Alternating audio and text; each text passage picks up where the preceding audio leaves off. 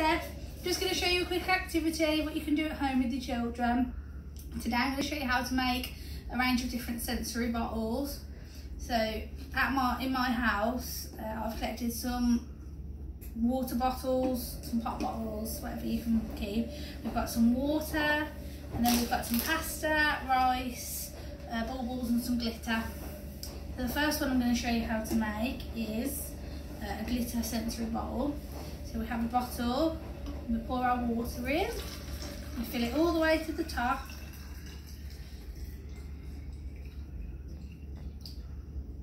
Like this. Leave a little gap and then we'll make a blue one first. We'll just pour our blue glitter in. You can add more than one glitter if you've got enough. Put our lid on.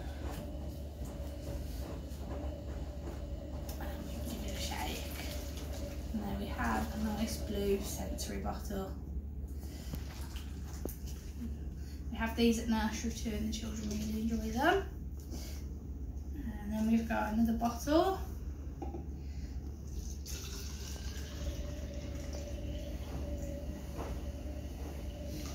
Oh, too much.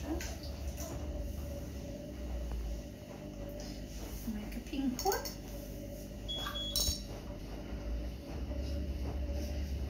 Do the same again, we do the shade, and we have a nice pink glittery bottle. There's those two. And then another one that we can make is we can use other things. So we've got some pasta, we can use some rice. These ones are really good for making lots of different sounds and we just fill the bottle, lots of rice.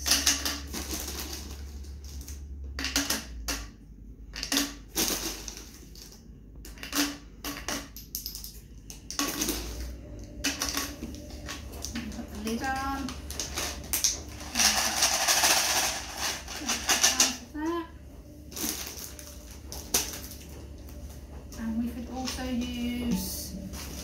Some pom-poms The children will really enjoy posting them. You can post them all in, we've got different colours. You can do a bit of counting.